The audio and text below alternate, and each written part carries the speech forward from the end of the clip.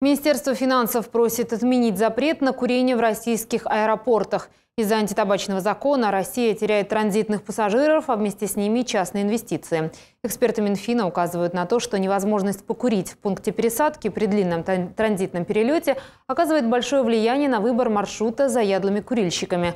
В аэропортах, через которые летают конкуренты российских авиакомпаний, курительные комнаты в транзитных зонах остались, даже в аэропорту Дубая.